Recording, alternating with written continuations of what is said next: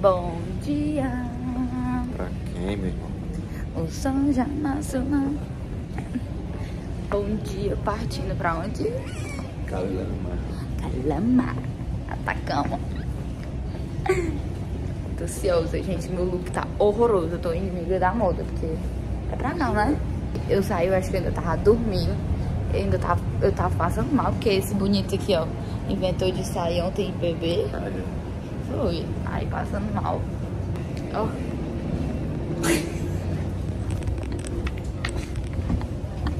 Amor, pelo amor de Deus, como é que deixa eu sair assim?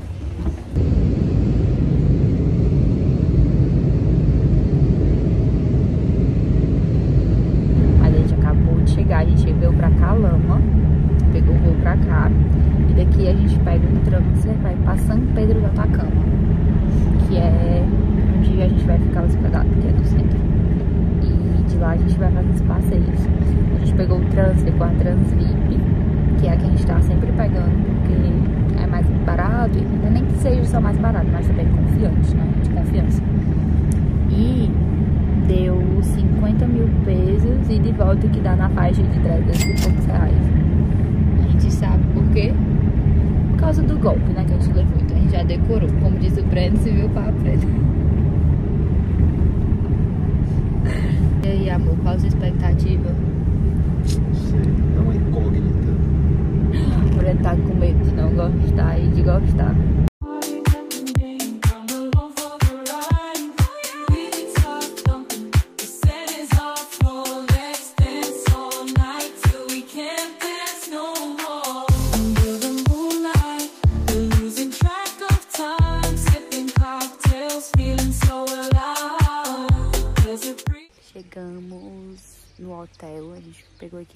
Dom Juan Hotel, que é bem na avenida principal.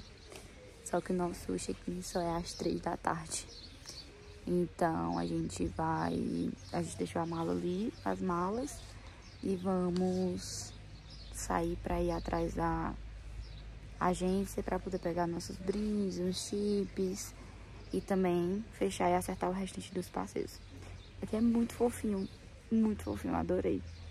E ainda não vimos os quartos, né? Mas depois eu mostro pra vocês também os quartos. Olha o nosso hotel, gente. Muito fofinho. Tem ali a piscina. E aí, meu povo, a gente dormiu, recuperou um pouquinho o sono, porque a gente saiu muito, muito, muito cedo de Santiago. E aí a viagem é muito fadosa. Aí a gente pagou, inclusive, 25 mil pesos no almoço, dá 150 reais mais ou menos, é, pra poder entrar mais cedo, porque o check-in é só 3 horas. Era só 3 horas. Aí a gente pagou, aí eles botaram a gente ainda em um quarto mais, né? É, é, supremo, que é tipo melhor do que o que a gente tinha reservado. Com um aquecedor que não tinha no outro, a gente eu nem sabia disso.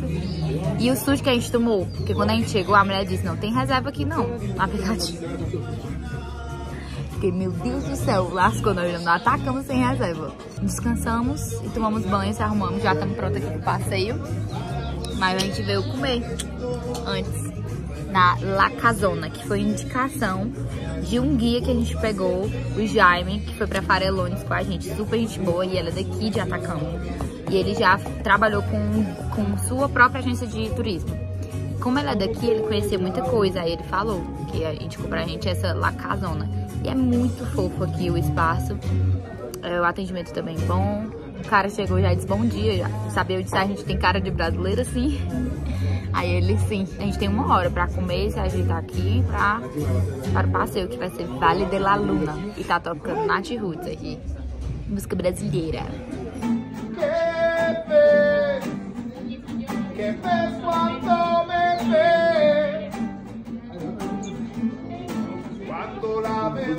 es la verdad.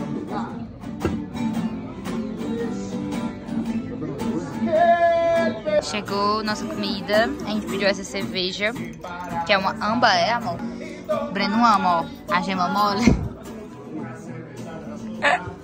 Vi que eles comem muito carne com batata ou ovo desse jeito. Ó.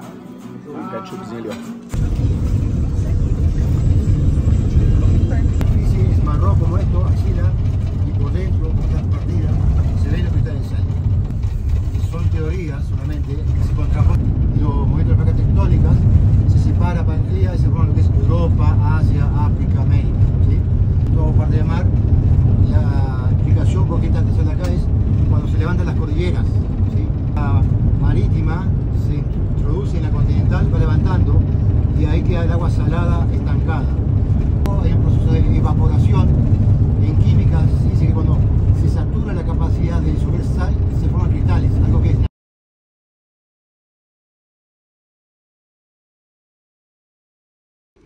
aí? Os passeios que eu amo isso aqui.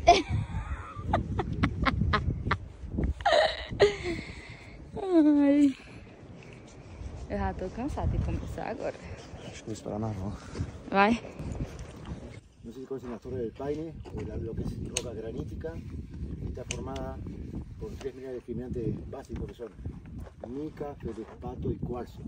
Uno ve la roca, la montaña de lejos, es tiene el mismo color, está aperto y es como distintos colores. ¿Está todo bien? Sí. Sí.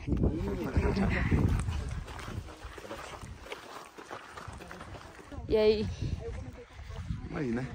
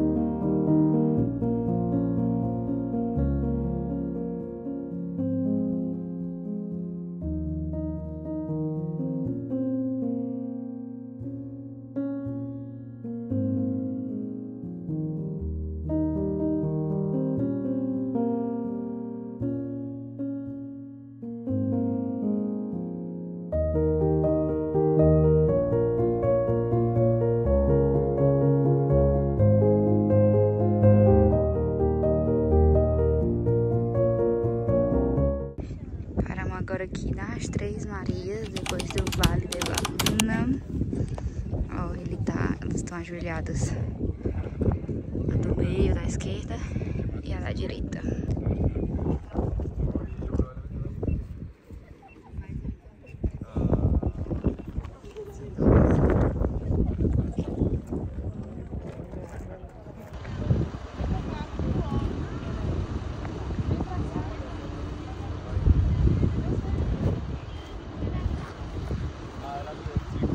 Sair do Monumento Três Marias, a gente pegou a rota sentido Pedra do Coiote, mas antes teve uma parada bem especial pro lunchtime. Esse lanche, bem legal, eles já levam incluso no passeio. Faz uma parada no meio do deserto, várias comidinhas típicas, o que é bem interessante pra gente conhecer mais da cultura e trocar ideia até com as outras pessoas que estão no passeio com a gente. Lá fica pertinho do Vale de la Muerte, conhecido como Vale de Mar. E ele é um dos pontos turísticos mais procurados no deserto do Atacama, mas na época que a gente foi, tava fechado pra visitação. E aí a gente já tá na Pedra do Coiote. Simplesmente lindo. É essa vista literalmente pro deserto. Inclusive, já vou te adiantar que se você não curte contemplar paisagens, você não vai curtir tanto assim o deserto do Atacama, porque é uma viagem pra você realmente contemplar. Mas é magnífico pra quem contempla a natureza. Inclusive, lá tem uma hora que a gente para pra contemplar o pôr do sol e o sol vai descendo, vai tudo mudando de cor, vai vindo um degradê. Obviamente não é a mesma coisa vendo pessoalmente, mas já dá pra compartilhar um pouco dessa experiência incrível com vocês. Tava lembrando de gravar muito falando pra vocês, porque eu tava sim cansada. Era o dia inteiro viajando, a gente saiu de madrugada e a gente ainda tava no meio do mundo aí passeando, como vocês estão vendo. Outro detalhe é que a gente já tava com um tour astronômico marcado pra esse mesmo dia.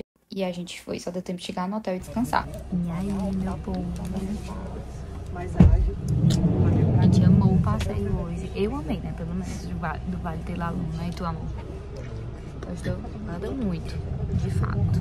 Mas a gente gostou. A gente tá indo agora por Tour Experience. Só deu tempo de tomar banho e se ajeitar. Nem comemos. Tá mostrando pouco pra vocês, mas eu já fiquei sabendo que é, não é indicado pegar no celular, que tem um negócio lá que você passa uma luz vermelha. Quando eu souber melhor, eu falo pra vocês como é que funciona. Mas já tá na van, a caminho de lá.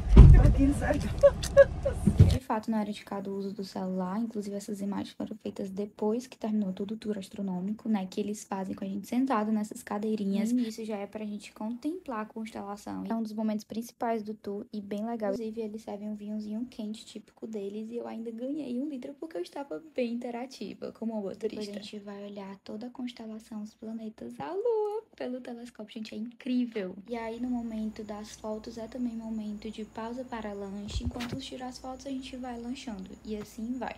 natural de frutas vermelhas, mais vinho quente, por se alguém gostou do vinho, pode experimentar de novo. Caixas, para que experimente com esse queijo aí, um cheese dulce de leite, também feito aqui, uma receita típica de Chile que se chama sopa e pilla. Eu amei a experiência, foi muito legal ter essa troca. Tudo acontece no povoado local por pessoas locais, então isso é muito legal fizemos a famosa foto né, em cima do carro. E, gente, era uma foto por pessoa e uma foto por casal. Entidade limitada e o fotógrafo não muito paciente.